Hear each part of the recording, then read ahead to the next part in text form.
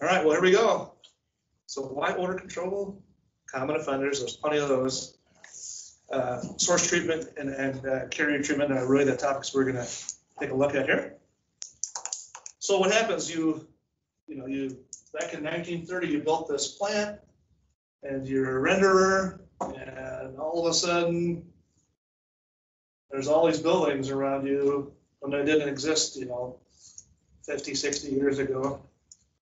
And now you're going, oh crap, now what am I gonna do?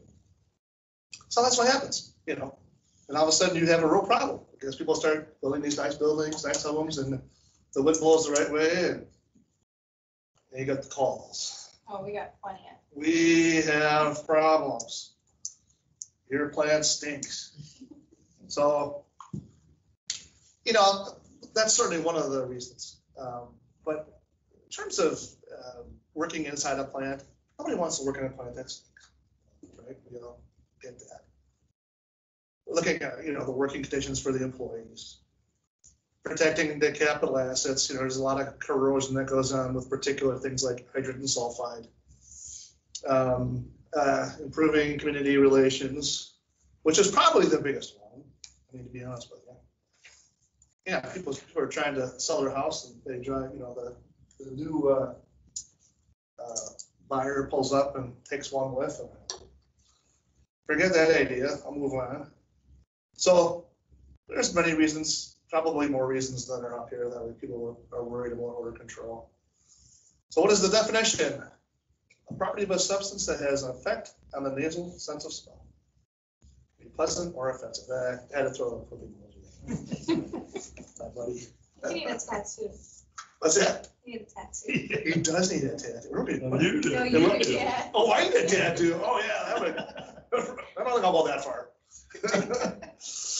So you gotta have a source and you gotta have a sender. The carrier is typically air and the receiver is usually a schnoz. Like you see over there, not quite as big as mine. but These are the offenders. H2S is the biggest one.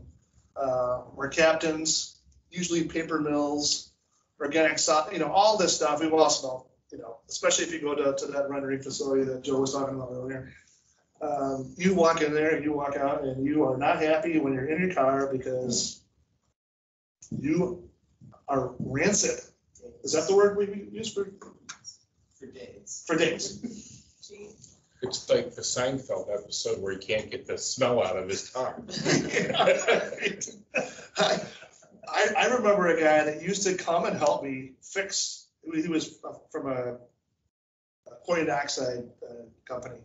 And he would come into the rendering plant, and he would, he would help us fix the equipment. And then literally, what was his name? He would get, he would get in his car, he would drive to the airport and get on a plane. And he stunk like all of those put together. I can't imagine sitting next to that guy. Oh, I wish I could remember his name. Anyway, I think he's still around, still does it. I think he still gets on a plane and doesn't change his clothes. But anyway, there's a lot of stuff here and all of them are nasty. So you, again, uh, you got, you got your paper mills, you got your uh, renderer down there on the left, your, your digester. Usually those are pretty good unless there's some issues with the clarifier, sometimes the H2S can really, really be bad. Or anytime you have a sanitary sewer when you open it up. And again, H2S is usually, usually the biggest one. Uh, but mercaptans, for whatever reason, I'm not even sure why, those are the odors that you get in a, in a paper mill. You ever been to Kaukauna, you ever been by Kaukauna? That's Right. what that, that's what that is, that's called the mercaptan. And that's really hard to get rid of in a big facility like that. Every time I drive up to the cabin, you know, it's like, how do people live in this area? Smell, You know, they just get used to it, I guess, I don't know. I can't stand it either. When you I smell live- something so often, you just don't even smell it anymore. Like oxygen probably stinks, but we don't even know it Yeah. because we breathe it. Right? I always get mad at myself that I don't push the air conditioning button that recirculates. Ah, yeah. Before you get to that Yeah, area. yeah. It's like, I got, I gotta, damn it, I missed it again. Uh, So then it's already in your car, you're like, yeah, you just gotta keep up. driving. So you got the, you know, the putrid uh, garlic, the uh, biophenols and, you know, the, the one that's really, again, the one that's really bad is, is the H2S, that's the Rodnick stuff. And that's the most prevalent. So I had a customer in Iowa that made gelatin. And they had horrible H2S problem in their sewer lines. And they had a mile or more of concrete sewer line that they had to replace because H2S had done that much damage. So it, it actually forms uh, sulfuric acid. And, you know, it goes up on, uh, top of the, uh, concrete pipe in your sewer line and it slowly ate it away. I remember walking next to the railroad tracks and there was all these holes, like a know, like nice long hole. And it was all the concrete that had fallen into this because of H2S. That must have cost them, oh, millions and millions of dollars to replace it. So it is not, I mean, this is really a problem, or certainly can be. So there it is. Highly repulsive, that's for sure. Very low odor threshold and really, uh, really dangerous. Um, We, uh, uh, yeah, corrosive to metal and concrete. So then I was at a, um, a tannery. um, And they had H2S detectors all over the place. And for whatever reason, the the alarms never went off, but you looked around this place and we were walking on this catwalk. and There was these tanks down below and it was just all rust. And I was like, Jeff was with me, Jeff Fretig. I'm like, Jeff, I don't think I even want to step on that. Because, you know, to any, any, uh, you know, iron-based metal, I mean, it is toast. It was like, you know, it was like this thick and it should have been that thick kind of thing. Dang. So, yeah, very soluble in water. The, the, we'll talk about that in a sec. but the, the, the warmer the, the water is, the more H2S you're gonna get out of it. Um, But, you know, the, the TLVs on that are, I mean, if you go down in a sewer and there's H2S down there and it's above twenty PPM, uh, you may not make it back out. So it's serious business. What do you think, Rob? Okay. So here's, here's the corrosion effects. Obviously, uh, uh, significant. You know, readily dissolves in water.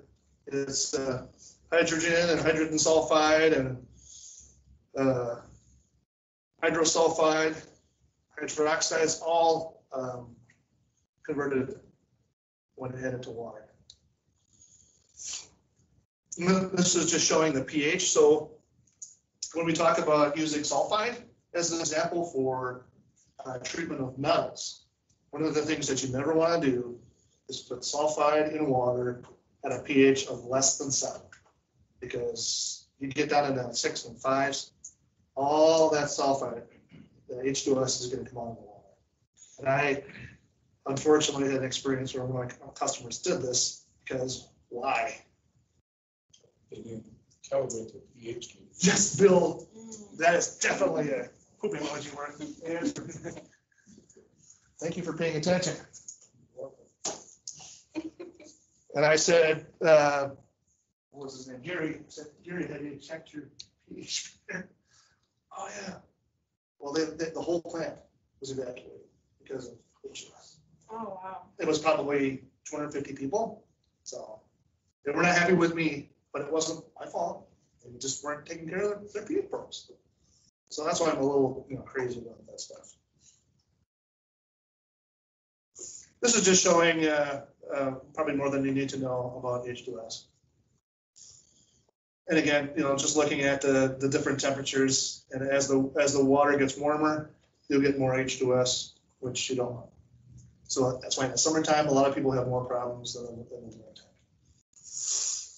Uh, Yeah, uh, anaerobic digesters, that's another, another area to, to find these things. And if, if H2S builds up too much in your biogas, your biogas isn't worth anything. So you gotta be really careful about it. So around nine pH is the best for H2S. Yeah, if, if you're gonna be, if you're gonna be safe, yeah, nine, nine would be good. But anytime you start getting below seven, that's when it starts to off gas and come out of solution. Really create problems. So one of the things that happens, you, you get these uh, sulfate reducers. And under low uh, conditions, or low DO conditions, And it kind of gets, you know, in a, in a a lateral or a force main, where there's bacteria and slime, it goes anaerobic, and that's when they start, start uh, creating H2S. This is a big problem in almost every municipal wastewater system. They have H2S problems, Well, a ton of them do. It just is what it is. So there's ways to treat it. And there, you know, force mains, gravity mains, you know, even some of these, uh, you know, lagoons out there, if they let them go, I mean, I- I- driving by on Highway fifty-seven, there's a, there's a cheese plant over there. That's not what I can't think of it. They make the best uh, string cheese. Yes, that's it. And their, their lagoons are just horrible. They Always stinky, just smell, yeah, it's H2S. Mm. We've talked to them. Um, so there's that, you know, there's things other than H2S. And, uh, yeah, garbage smell, that's, that's a good one. So there's other, other ways of, uh, taking care of some of these things. But really, you know, we, we think about how to take care of this. This is where the common sense thing comes in. You know, um, mechanical options, uh, chemical source, chemical carrier, chemical carrier, could be just about anything. So turbulence, you know, when we think about piping and the potential for gases to come off of a pipe, if your pipe is above the level of the water beneath it, it's gonna splash and it's gonna create potential, potentially create odors. You can get that pipe down under the water, a lot less, you know, volatilization and those kinds of things. Yeah, keep things mixed, don't let them sit and that slime layer doesn't build up and there's not the potential for nasty odors to, you know, ventilation. You know, always, anytime you can aerate or mix, uh, you're way better off. So that plant that was down in Iowa, uh, that lost hundred or a, mile of concrete pipe. Eventually, what we did is we started feeding ferric chloride and I mean, fixed the problem, but by then it was too late. If they started, would started feeding ferric, what happens is it forms iron sulfide. It's that really dark black. Um, It's as dark black as you can get. So the sulfide and the iron come together, form iron sulfide. Um, Yeah, one of the things that is, is a little bit dangerous with that is ferric sulfate or ferric chloride is very, very um, low in pH. So you gotta make sure that that pH stays up. Because otherwise you have, what? Sorry, was guys are like the last sentence of yours because I. It's, it, it can, if there's anything there, it can come on a solution. I, I won't hold it against you. And everybody's kind of like, I'm exhausted. Um, you know, this is another way to do it, and there's multiple ways of, of treating with these mechanical options. You know, you've heard of scrubbers. They're typically on top of buildings. Sometimes they're next to a, uh, a digester or, um, a clarifier, even at a, you know, at a wastewater plant. A lot of facilities have these. You know, in Milwaukee, they have a very, Covanta has a really big one. Um, Brittany, how, how much does that thing handle? The air scrubber, I don't know how much it can It handle. is a massive air scrubber. I've seen the guys, you know, work with it, but I don't work with it. And that thing is pretty great though, when they turn on, smells. Yeah, pretty much, pretty much gone. And I think they're using what bleach in there, and caustic. I'm not sure about cost, but Yeah, I think, they well, they use use, bleach in there. yeah, they use bleach to oxidize. I have something that, they put in there. I didn't know it was that, Yeah, honestly. Yeah. Use I'm pretty sure. Treatment of the water.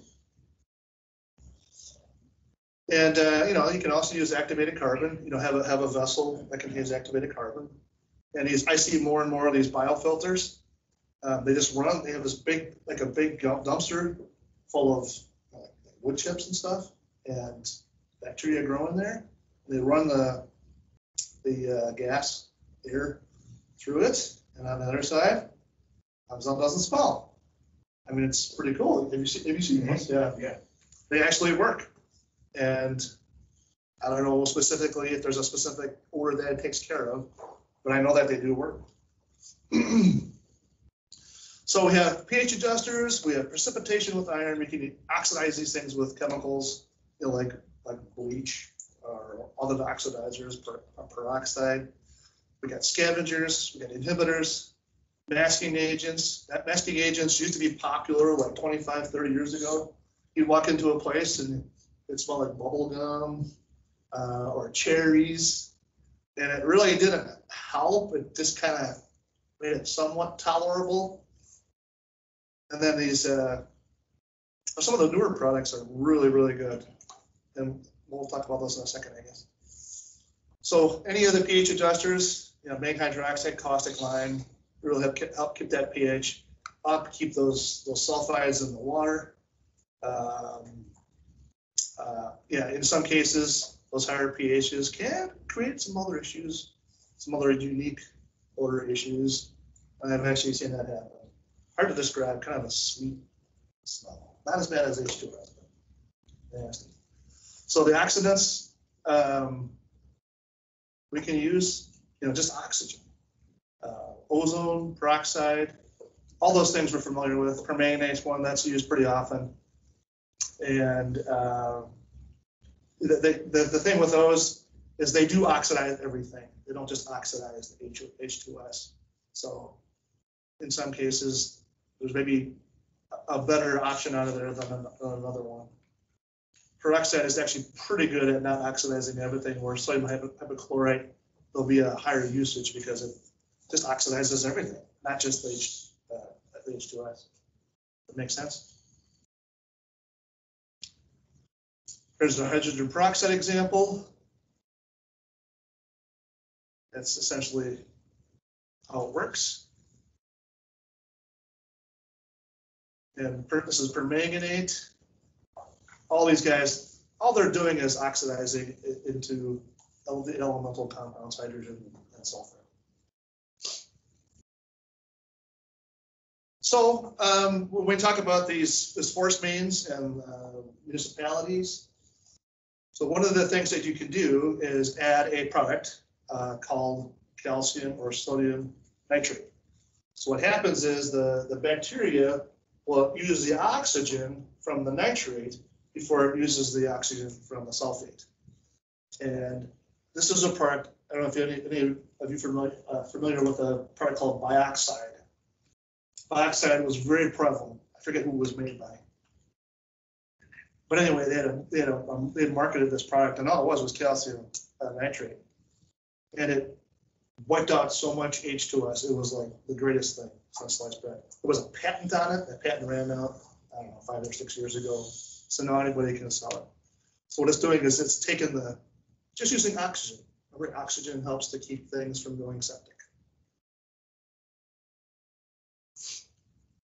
So this is just, uh, you know, a little schematic of what we see. And, you know, all, all depends, you know, where is that, where's that gas gonna come out? Uh, At the pumping station, usually it's at a manhole, you know, that's right next to a restaurant or a golf course, right? That's, odors are coming out right there, so everybody can stop. You know, this is a little bit different, uh, type of bioaugmentation, but you can add these sulfide oxidizing bacteria.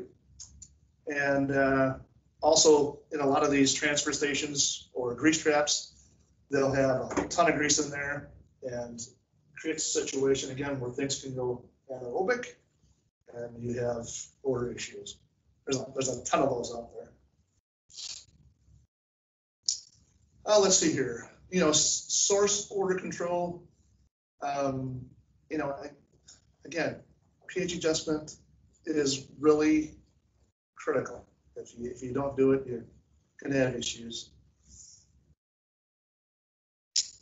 All right, controlling odors that escape the source. Other sulfides, amines, ammonia, um, for some of you people, but ammonia is one of my least favorite. Uh, organic acids, volatile organics. Some of it can be, uh, just overwhelmingly bad. So masking agents, again, talked about that a little bit. Um, These are compounds that don't really do anything to the odor compound or the odor complex. More of a, you know, a flowery scent or, uh, as I said, a, a bubble gum or cherry. I forget some of the other ones. Perhaps uh, mint, but not really changing the odor molecule itself, just kind of masking them. Didn't really like that. You could almost still smell the odors behind it. Now, this stuff is a little different. These essential oils are kind of a newer thing. Uh, Probably 20 years, maybe 15, 20 years. So these things are actually um, combining with the odor. I think there's a little picture here. Um, Better picture here. So kind of combining with the odors so that the odors, the odor molecules themselves are so big that the receptors in your nose can't smell them. These are, these are things that are, uh, the compounds are coming from, you know, plant extracts and it's kind of, neat. What's that soap? Um, Irish Spring. Irish Spring has those, those uh, oils in, and that's how it works on our bodies. It- I mean, that's an old chemical. But I'm telling you, a lot of these new products smell a lot like Irish Spring. Or really concentrated as Irish Spring, and it really works. Okay, so odor neutralizer applications, and this is probably where Rob is excited. Um, But a lot of, uh, there's a lot of opportunity, you know, to, to treat. And there's really, you know, basically three different ways of doing it. Um, Try to, try to surround it, try to keep it contained. Um, If there's a, if there's a order that you can run through a sack and uh, take out, take care of it that way. There's a a vent- ventilation, you can add it to the, of the ventilation system. And every, every system, or every type of, of uh, control system kind of has, has a different method. You know, all these are, are spray bars with different configurations. Really depends on the, the plant you're working with, how you can apply some of these things. But they do work. I mean, these, these uh, countervalence, I mean, it's amazing. They, you can't smell stuff, at least locally. All right, delivery modes. I mean, I've, I've had people, you know, use high pressure sprayers, just spray it on garbage cans. We, we've talked about those, those, those, uh, uh, fans that will blow or, or mist. I think, uh, you guys were using some of that stuff. I don't even know if you were there, but you guys had those misters. Yeah, Yeah, that's this waterless vapor type. It can be heated or, or, or non-heated. So you just hook it up to the drum and it just blows this stuff into the air. And I think that's the, the thing we were talking about at one point, Rob. that's what I was thinking, when you were talking about the bleach and the pasta, and the air scrubber. No, this, this was the, that you had a, you had a drum and you had this, this little, little put in. Yeah, the little- It's a little mister. Yeah, and then. Yeah. that. And that's what you did before you had this big, huge system, Okay, that big, that big, I uh, have to have them show me the air. Yeah. All right, wastewater treatment plants. There's a whole host of areas where you may have issues. You know, trickling filters are really easy because the, the water is trickling across them. there's a, there's loss of, um, or the odors are coming off of those. DAFs, you know, you're adding air. Anytime you're adding air, you're, you're mixing things, if there's H2S there or other odors, they're gonna come off. So this is what I was just talking about, that uh, drum top unit. It all depends how much space, you know, how much area there is that you have to cover, uh, cover. Those drum, those drum top units are for smaller areas. Know, I know you guys have a big space there to take care of, and that's why you go into that big, that big huge air scrubber. All right, name one way to eliminate H2S. Just one. The. Dioxide. Dioxide. Dioxide, yes, excellent. Does, it- does anybody have another one? There's so many. Higher pH. Okay, that keeps it in solution. Anybody else? Essential oils. Well, that's not H2S, No. that's order. Water temperature. water temperature? Yeah. Like keeping it hotter or colder? Colder. All right, that was, that was creative. How about iron? Remember the, I remember the, the plant that had a mile, miles worth of, uh, concrete pipe on? Iron was the cure there. And that's really a pretty good one. That forms that iron sulfide. So masking agents chemically change the odor molecule into something new, true or false?